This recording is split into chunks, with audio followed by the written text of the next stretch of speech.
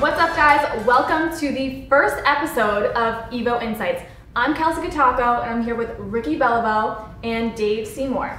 For those of you guys that don't know them, Ricky Beliveau is the owner of Volnay Capital, and you might know Dave from the show Flipping Boston. Yeah. So I think that's where most people would recognize you from. Would you say so? Yeah, so? maybe. I mean, look, we did Flipping Boston for what, like four or five seasons, something like that. Uh, we had a nice little run with it. It's funny, even uh, even today, you know, you might walk through an airport or something, and, and you get, hey, that's, That's him. That's the guy. him. There was one couple one time they were sitting there and they were trying to take a picture with their with their in, a, in a restaurant at an airport. But yeah, I'm known as, as the you know the contractor attitude dude from from flipping Boston. But this is a different environment altogether. So I'm excited to do this and hang out with you guys for a Yeah, while. we're excited to have you on. You guys did an interview a few months back. Yeah. So since then, what what has changed? I know you guys talked a lot about how you got started and Yeah. all that. Yeah, yeah. Look, people always want to know how, you know, and I'm sure you get the same thing, Rick, right? They want to know how did you end up getting where you are? A lot of people Right. want to do what we do at different levels. Absolutely.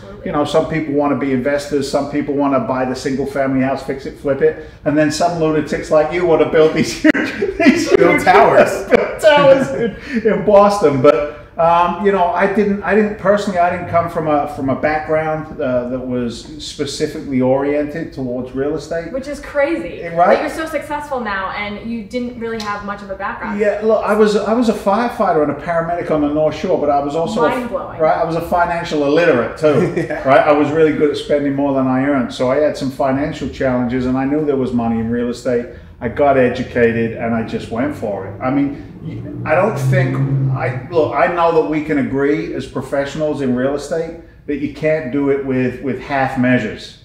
You know what I mean? Yeah. Like we were saying before we started filming here, like you go in with 100%, it's gonna it's gonna kill. It's gonna it's gonna be a fantastic you know uh, business model. So you know I, I've, I've done the same thing. I'm, I'm ultra conservative because I use a lot of other people's capital, but at the same time, it uh, you know if you buy them right, the results speak for themselves, and I'm sure we'll get into that a little Yeah, bit today and as well. I mean, what I want to know is like, you guys are both very successful, but do very different things in Mm. a similar space, right? In the real estate world, investing, things like that. So, what separates you from somebody else? Is it the relationships that you have, the connections, the skill set? Is it, you know, I'm curious to know. Let's go for Yeah, it, dude. no, I mean, I think what's, you know, it all starts out with, you know, I think it's understanding the business, right? And so I think, you know, I, I learned step by step as this business grew. I didn't jump into building large scale buildings. Right away. I started out with three family where I, you know, did the work myself,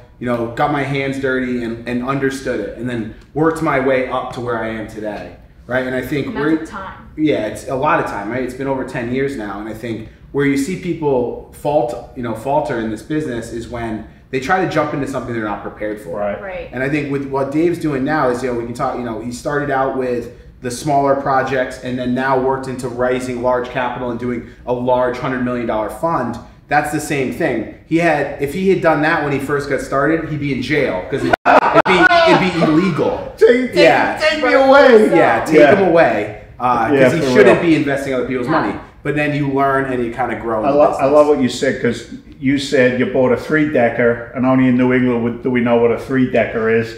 But you know, you bought a three decker and you grafted, you learned, right? You got splinters. I've still got calluses from the days that I was, you know, working on an auger in January trying to get down four feet to put in the deck. Yeah. So I think I I agree with you 100%. It's critical that there's a foundation in real estate. And look, man, it's you can read something in a book, right? You can watch somebody else. Yeah, there's a lot of materials out Right, there. and and look, what you see in a book doesn't really give you what you need to get the hands-on experience, and I think that's the that's the foundation for our success is actually not only knowing it but doing it, and then implementing it and bringing the right people along, you know, uh, at the same time. Because I'm like you, man. I was in construction too. You know, I, I, I worked that road prior to the real estate side of it and then transition to, to grow my business. So, and look, man, I'm, I'm 50 years old today. uh, actually, it's my birthday in a couple of weeks. I'll be 54. And I, I don't want, you know, I don't want to go back to what I used to do. Today, I like to use relationships and my brain and my skill sets that I've developed to be able to, you know, to, to, to work on a larger scale. And you do the same thing, man. You're like me. You're on the phone all day long. Busy, busy. Right? All day long. That's what we do, right? So one question that we had on social media, which I think was interesting, is looking at your your goals and as things, Yeah. your dreams as they started until they are now. Yeah. I think it's people always ask me that, and you know, you know, so when you were starting out and you were looking at five or ten years or twenty years Yeah. out, Yeah. where did you see yourself? How does that compare to where you are today? And is there anything you look back and tell yourself back ten years ago? Sure. Those are great questions, brother. Look, I've heard that so many times. I don't care who you are, how old you are, or where you are. Have a goal, have something to work towards. Write it down, document it, believe it, act as if, right? Like Yeah. the, those philosophers. Entrepreneurs I, I, are the only people who really understand the power of, of, of, of like vision and, and goal setting and implementation. But for me, I, I my goals were all short term goals because I was in a rough place. I'm going to be honest with you. Right, which is crazy. I mean, I've heard your your background story. So like you you had some debt, and then you know over time you were hmm. able to. I mean, you're in a completely different position. Yeah. now, which is Look, when I started, look, when I started, my FICO score was two, all right? Maybe three on a real good day. Wow. You know what I mean? And and I say that in a joking manner, but goal set was important. I, I wanted to be able to sleep eight hours and not worry anymore. That was a goal for me. And, you know, my first deal was a little wholesale deal. I made $5,000 and I went, oh, I made 5000 and it felt illegal to me because I didn't Oh actually God. own a house. I'd moved the contract. Just curious, what was your first deal, your first real estate? It was a transaction? wholesale transaction. It was right at the time when, when the market tanked. And in 2008, if you told people you were in real estate, they thought you had leprosy. You know what I mean? It was like people were like, get away from me. And I wholesaled a, a, a, a bank-owned asset. I put it under contract and I sold the contract to another Yeah. Wow. So how did for people who don't know and Sure. understand wholesaling, because it's a great business for someone who's getting started. Right. Talk through the idea of a wholesale deal and how someone does a wholesale. Yeah, first of all, in real estate, you have to know your numbers. You got to know what something will sell for. You're after repair value, right?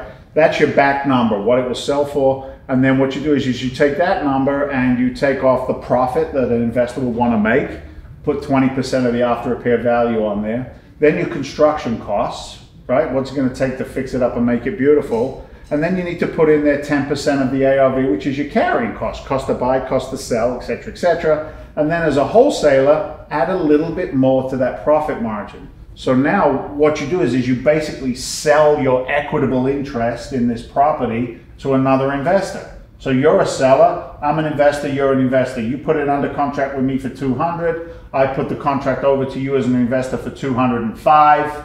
You go close that deal with this seller, and I make five thousand dollars in the middle. That that's the short version. There's a lot more to it I'm than sure that. a lot but more to it, yeah, Yeah, I think where it, the main thing, this is where I see so many people mess up, is you have to understand the value of the asset. you've got Right. to. so many Yeah, wholesalers yeah, yeah. don't understand the actual value of what a guy like me or Dave would pay. Right. Then they call me up and they say, "Hey, I've got an awesome opportunity for you.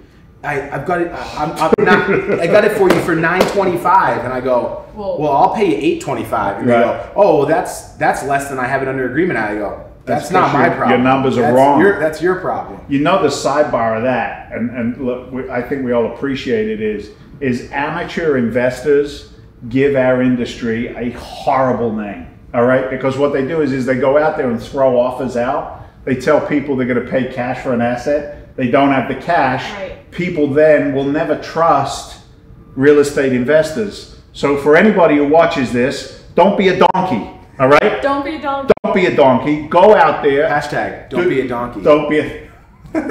Go out there and do it with some intelligence. Get some education underneath you first. Otherwise, you cause problems and you, you really can ruin our industry. Yeah, and you took some type of online course that taught you a little bit about real estate. Yeah, look, I did. I, I, I'm an all-in kind of guy. I'm either doing it or I'm not. Right, you're- Same way I did firefighting, right? So it wasn't an online course. It was a twenty-seven thousand dollar investment Oh my on my wife's credit cards to go learn the business. And um, she was my first private lender. That's what I tell her every day. But uh, you know, real estate has allowed my wife because I went all in. I didn't do anything with a half measure. You know, it's allowed my wife Mary Beth, for example, to not go back to work. She's raised my kids, and she she appreciates it today. But you know, everything is scalable. I think is what's important from that three decker you did to the you know the big buildings you're doing today in Boston. And for me, you know, from that five thousand dollar transaction, I built off of that. right? I never, I never looked back. And to your point on goal setting, you know, I, I wanted to get out of debt. I wanted to make sure that my wife could, could raise our boys. I wanted to make sure that I could live in a home that was, was comfortable for us. Uh, I wanted to be able to build a, a good, sustainable business, businesses. Uh, and each, each uh, step of success, you know, for me personally, I always, I look at our business as being of service, right? We service the people who lend capital to our projects because they can't get returns anything like what we give them yeah. as investors. Uh, we service the communities where we put good housing in there. We service each other because we have realtors and, and developers, et cetera, et cetera, contractors. So I love the idea of the fact that we, we employ not just the people in our companies, but we get to help so many people outside of them. And I know, you know, you and I have talked, and you're the same way. Yeah, I think the main point you hit on uh, this. People always ask me like, "Oh, did you ever, you, did you dream and did you have goals of doing these buildings?" Sure. Honestly, no. No. It's always been. Right. It's always been like one project grows into the next one, and then it's work. It goes yeah. well, and then there's a bigger one. One foot in front of the other. Yeah, and it, so it's never like people are like, "Oh, you sat back and thought you were going to build huge buildings," and it was no. I honestly just looked at the next condo conversion and the next building and then they got bigger and you got more knowledgeable yeah. and then and then your network got bigger and bigger deals started coming in and like grow. yeah and as the bill and then now it's crazy i get phone calls like i know what the fuck i'm doing when because like i happen to get one big building permitted now i'm the go-to guy for big buildings it's like just because you did one doesn't mean I'm an right. expert. I do right. know how to. I did get one, right, you but know you, you know it's still there's still a lot of learning to happen. I I love the fact that each each learning experience creates a new like in medicine in your brain when you learn something new you create what are called synapses in your brain. They're new pathways for real. Yeah. this is the this is the medical side of it. And every one of those experiences the good ones that go yeah and also the bad ones that go ooh right? Yeah. all of those experiences create a new synapse and we never forget those. So when somebody comes to you look man for, for me with a tv show I was an expert as soon as I had a TV show. Right. It didn't matter anything else. So, you know, I got to go to the head of the line in, yeah, in, in some essences, right? But I learned how to leverage my experiences over and over and over again. Just like when somebody calls you, brother, and they say you're the guy, be, be the guy. Right. You know that. You know that already. Of course you're the you guy. Yeah. Absolutely. Leveraging, leveraging business experiences, business relationships, leveraging capital, we're sitting here right now for two reasons. One, we like each other. Two, we're leveraging each other's experience. Right. We talked about it before we even started going on here. Why are we spending our time doing this right now? Because there are some people in my network that will appreciate what you do. Some people in your network will appreciate what we do. And you're, I don't know, you're just, you're here. It's awesome to see you. right? Right? Yeah, absolutely. I'm learning so much just from working with you and, and right. getting to know you, I mean, there's and with what's going on right now, the pandemic, how have your mm. experiences changed? Like in from the business side of things, like I'm sure they're much different than you had yeah. anticipated them. Yeah, for sure. Do you want to go first on this one? I'm gonna I'm gonna give it to the big guy and let him let, let him take this one to start it out. I tell you, we we had that uh, initial interaction back in February or whatever it was, and I'll make it a, a shorter version, but um, I was in a hard money lending space, you know, full on. I've, I've always had multiple businesses, but hard money lending in February was our focus of attention. Company had asked me to do some, you know, like marketing or branding, if you will, around hard money. And we had $15 million worth of loans in the pipe. I had seven loan originators. It was all great. Everything was ticking over. My marketing team was killing it. It was beautiful.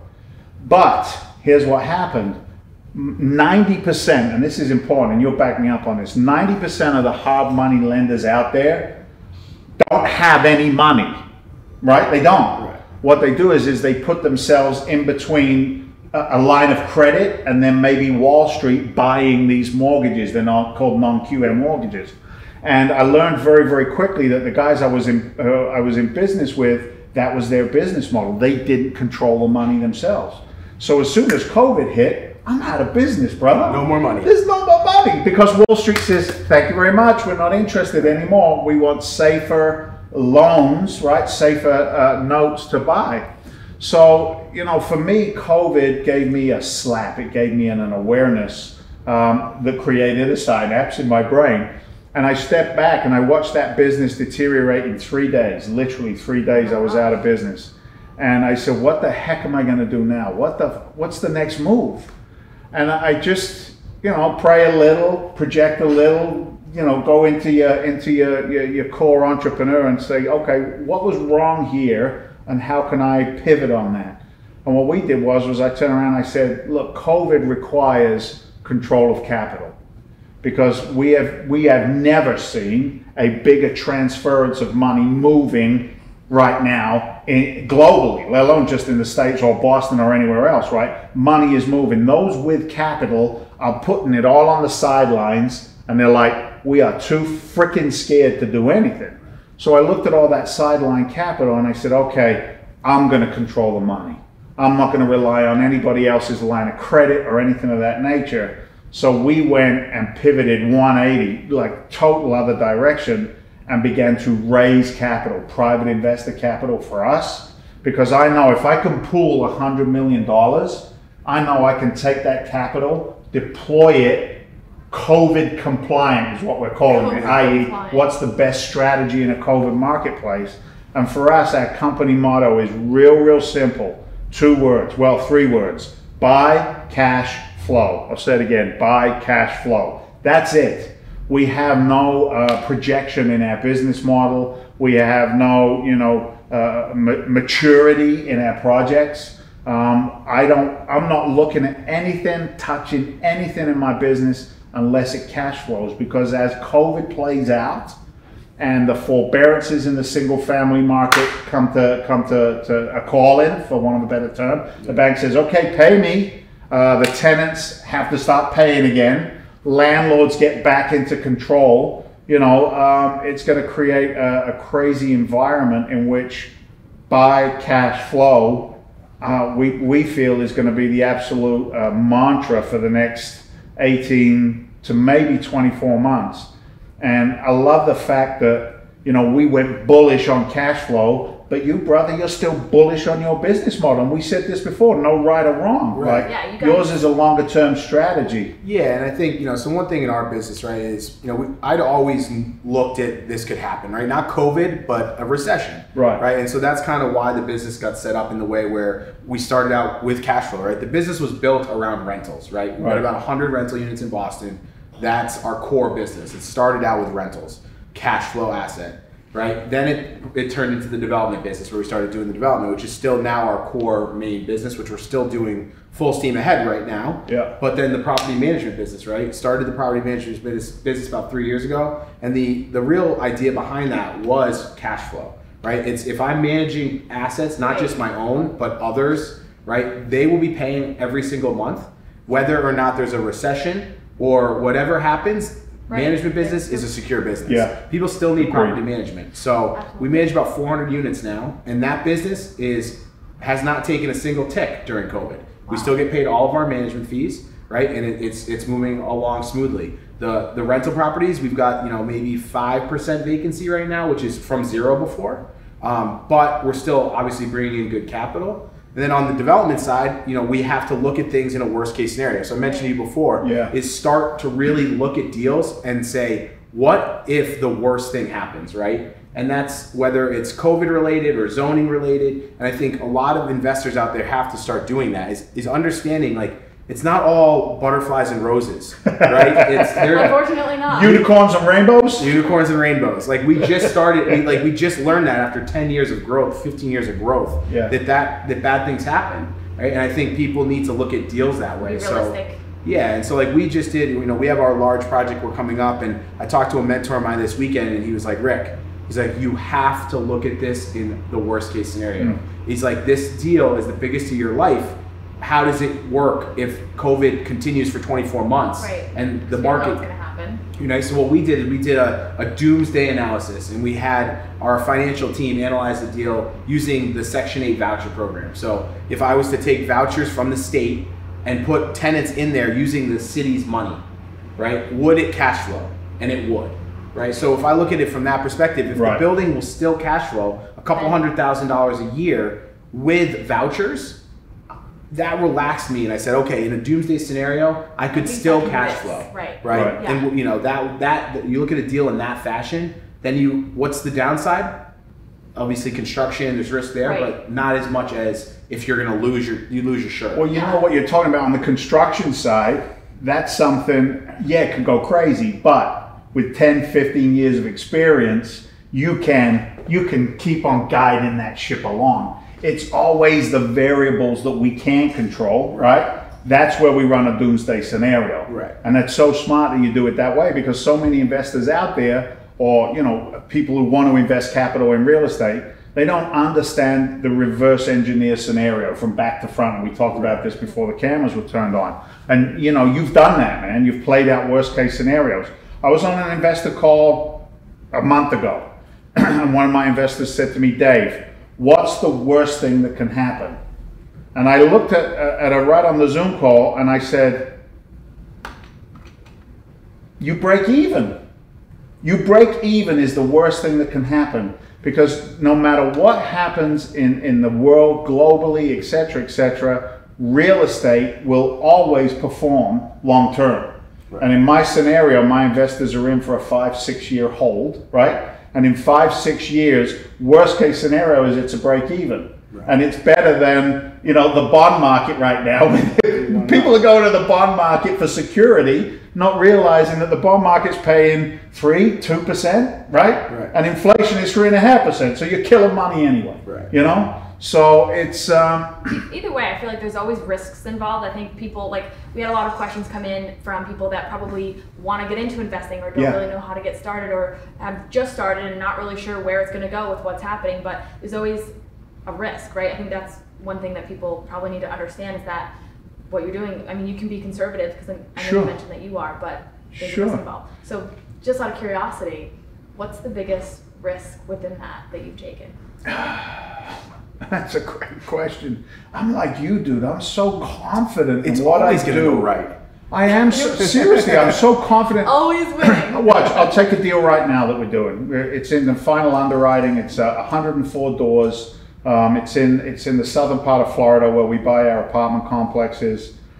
so what is this deal? First of all, this is an assumable loan at 7.5 mil. I can walk into this loan for forty thousand dollars, right? I walk in, I now own it. So why can I own it at forty thousand? And what's the risk component in it? Well, the prior owner has already stripped all the equity out of it. He's done all the exterior work, but he's done no interior work. You know, and I know, bathrooms and kitchens is where we make our money, whether it's in a single or in these apartment complexes. So, what can go wrong in this environment right here? Well, I don't get 1.24 million in additional capital to do the repairs. Um, no, I think I'm going to be okay there. The other thing is, uh, I get bad contractors. No, I got that one covered. I got a 20 year footprint in that marketplace of success doing kitchens and bathrooms. Um, it won't absorb the amount, but even if I take a 10% loss of occupancy, it's still going to, I, I make my money when I buy. Like I don't look at any. You know what's risky? Going to work every single day and having somebody else be in control of your financial Right. income. That's freaking risky. Or Putting your money in a in a four hundred one k plan. That's Yeah. risky. And then you wake up one morning and you don't have a job, which is unfortunately the situation for a lot of people right now. Yeah, I mean, look, we got to go into these deals with, with as many of the variables controlled as is possible. You know, can, can a meteor fall out of the sky? Yeah, but my shit's insured. Yeah, I You know? you know. I think what scares me from investors is when I hear a newbie investor talk about the future and what that's going to be worth in the future. Yeah. Right. And it's Yeah. like if they're Yeah. getting into a deal, Yeah. and I never buy for appreciation. Like in my pro forma, we have an appreciation tab, right, and it shows the building's value going up at two and a half percent per Mm. year, or whatever. That's just an upside number, right? You can't rely if, on it. If it doesn't work on a cash flow Right, standpoint, right. I'm not going to buy it Right. right? So what what scares me is when I hear someone say like, "Yeah, but this area, the future value is going to be up. This building's going to be worth three hundred thousand dollars more in five years." Maybe, right? But that should be your that should be your golden goose. That should be your extra, right? If that's the upside, it should still be making sense on a cash flow basis, Right. Unless you're a fund where you're literally just placing capital and looking for the long term. But for mom and pop guys or small investors, that's not what we are. You need to be looking at what this asset's going to do if the market doesn't go to Right, how it's going to perform. Because I think Right. I, I hear it all the time. A lot of people are scared to buy right now because they're like, oh, well, what if what if values drop? Well, it's still you still want it to make sense in that aspect. If in you're cash flowing and values drop, who cares? Yeah, right. Who cares? Who It cares? Doesn't matter. 'cause Show me one money. piece of real estate which is worth less money today than it was 20 years ago. Doesn't exist, right? So when we buy for that cash flow, you know, promise, uh, it it, uh, it it makes sense. You said pro forma. One of my first mentors always used to say to me, when you're buying real estate, just replace the word pro forma with pretend.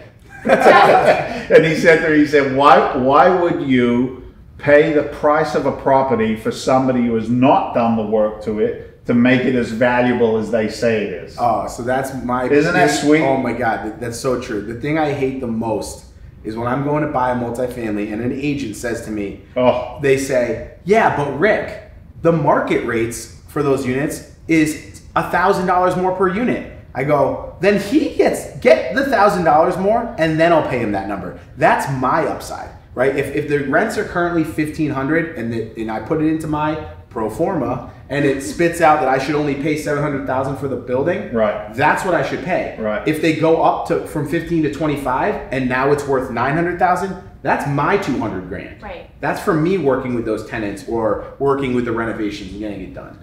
Something a lot of people don't even understand. The, the, the words are so simple, but they don't understand.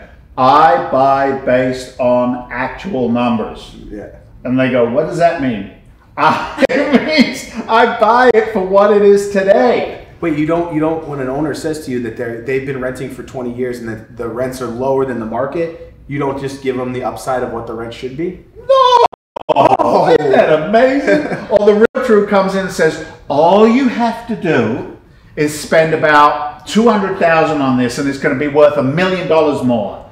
And I say, that's fantastic. So you can be my first investor. Stroke me a check for 200000 and we'll get going on it. Oh, all of a sudden they go, start backpedaling in their high heel shoes. They jump in their freaking Mercedes and drive away, right?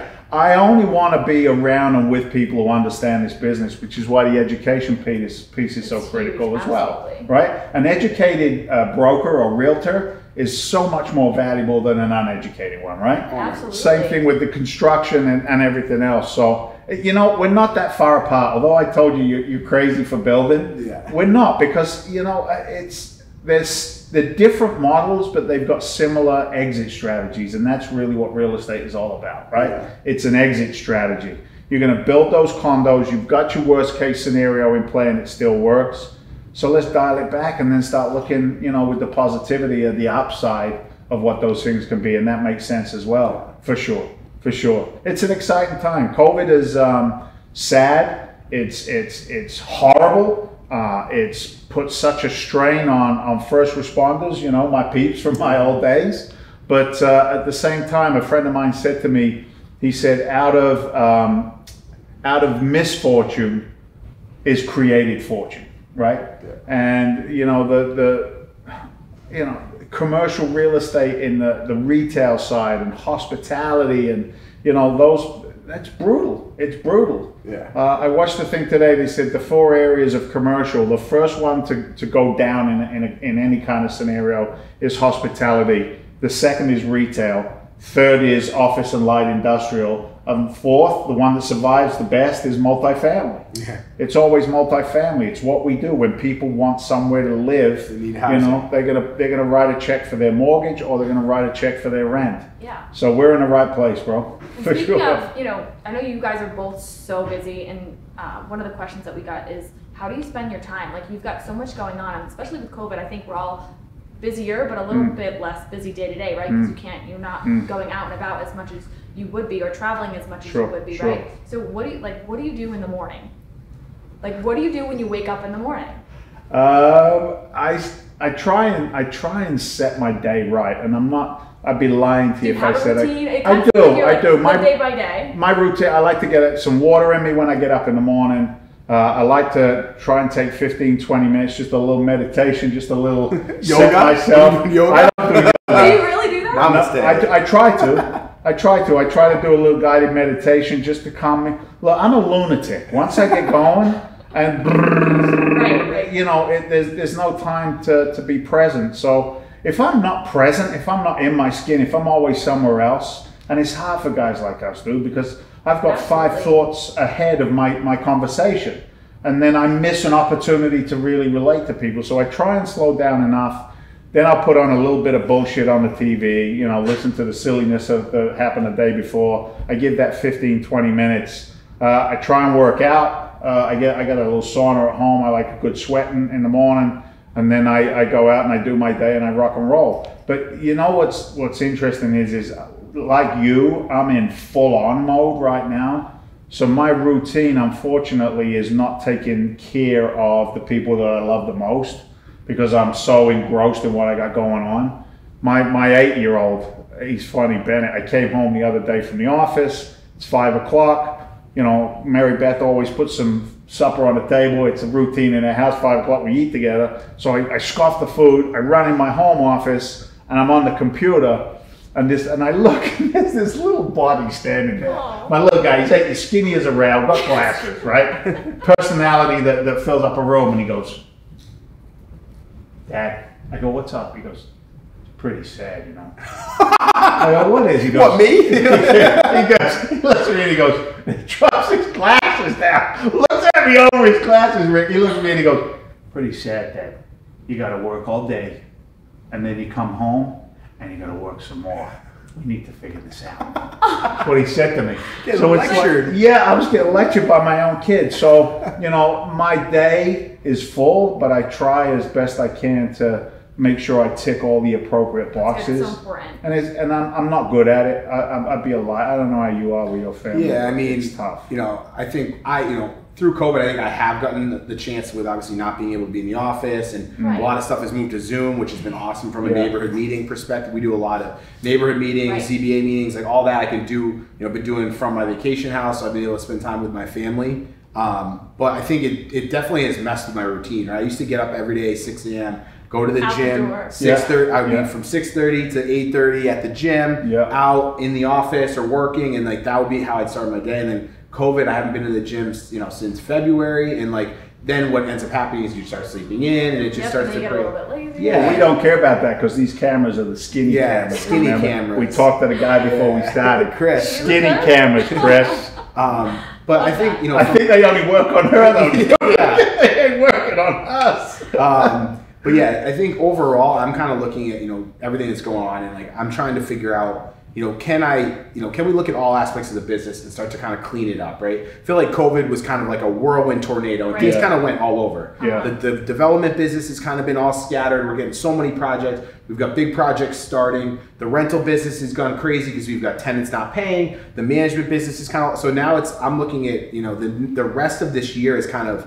let's step back Clean it up. let's Evaluate. let's let's evaluate let's breathe and kind of let's see where covid takes us and let's let's take all the stuff that's currently on the table and get it really organized Nice. right and so like that's that's how i'm looking at between now and 2021 is like let's put let's get everything in order so that heading into next year we can make the right decisions right? So uh, it's, it's kind of been crazy crazy crazy and now it's let's stabilize everything. Let's let's analyze the management business. Let's make sure everything is flowing properly. Let's look at the rental portfolio. Yeah. let's go sit down with those tenants who aren't paying. Let's really try to to see if we can maximize that business. And then looking at the condo projects coming up and saying all right which ones are we going to build? Are we going to sell some? You know are we going to build everything? Are we going to hold some for the long term and trying to make those decisions and and then go into next year with you know not being as much of a tornado Right, yeah. right Having, So- having a definitive It's tough plan. to slow yourself down. Yeah, having Yeah. a definitive plan for 21, 22, I think is critical, dude. Yeah, Yeah. absolutely. You know, that knee jerk reaction, you just summed it up, that everybody has had to COVID.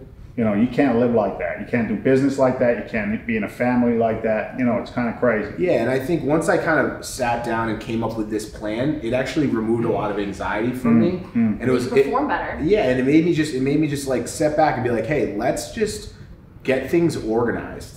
and then mm. we can progress in the right way in this business. And a lot of the past 12 months, like I've been, you know, we've bought so much real estate, we've permitted so many projects. It's been a great couple years, but now with COVID and everything, it's time to it's time to organize and, and kind of ride the waves. Right. I think that everyone kind of needs to look at the end of this year when there's unknowns you can't predict.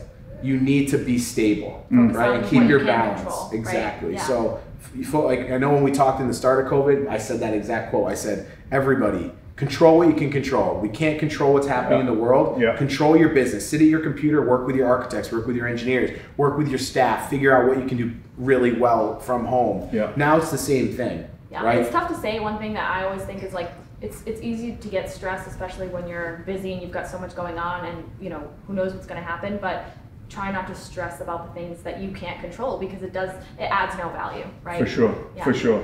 S- People spend a lot of time trying to control the uncontrollable. Yeah, You know? and then and then you know they're bloodied and beaten six months, eight months later, and then they give up. Yeah. I know a guy used to say to it, "Stop white knuckling it, dude." I'd say, "What do you mean?" White he knuck- said, "You're holding on so tight to everything. Your knuckles are white. Let it go, let right? go, Let yeah. go of some of that stuff." So definitely, uh, definitely a strategy for, for for towards the end of the year is to.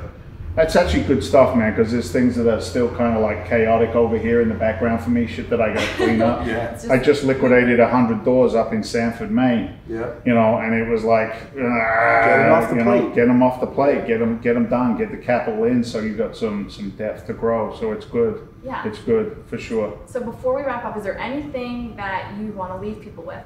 Um, any any advice that you have for somebody right now that isn't you know that wants to get to your level? Hmm. Educate.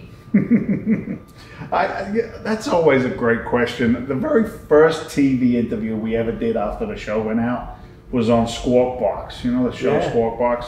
So there's me and my ex-partner Pete, and we were actually sitting in a booth in downtown Boston somewhere that was connected to, to New York. And they said, you know, for somebody who wants to be in this business or do what you do, you know, what what would you advise them? What would you say to them?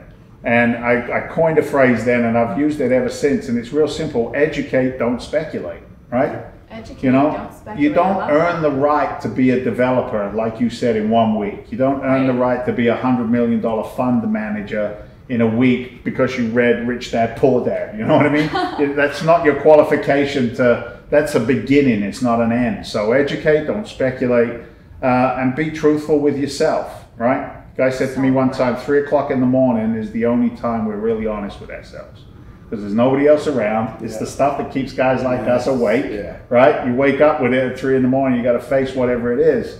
Be truthful at that moment in time, and then execute on it. Don't don't keep on procrastinating. Yeah, and I, I think you know from the standpoint of someone who's getting started, it's like I think it's who you surround your, yourself with, right? Excellent, Like for we, sure. you know, we met we met through COVID. Like I reached Right. out and I was like, hey, like you know, let's chat. Yeah. And I think by you know, and same with some other mentors I have that I reach Sure. out to and get advice from. And I think Sure. you know, people are like, oh, Rick, you don't, you know, you're so experienced. Like no, like I still reach out to people who have been in the business know more longer than you. And have seen different things. And like I think I've always been someone who's been completely open to reaching out, even if I have never met the person and they're extremely successful, bigger developers than I am, and been like, hey, can I grab coffee? Can we grab dinner? Like, can can you can I get you get Yeah. some of your time? And I think Yeah. if you're getting started, there's nothing better that you can do than surround yourself with people that Yeah. are like minded. For sure. And you know, I know at Evo, like that's something that we're trying to do with our brokerage. Is like if you when you work here, the environment of everyone is like-minded like we have goals they want to succeed entrepreneurial and like when you put all of us in a room together you can feel that energy and i think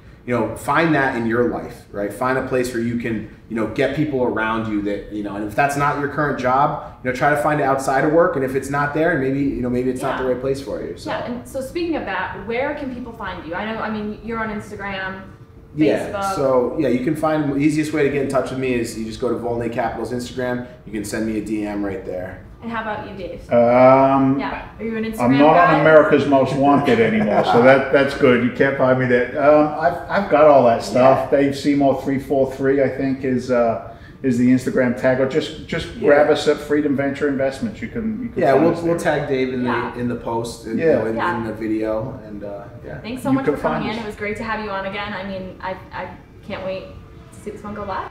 Yeah, Excellent. Thanks. Thanks, Kelsi.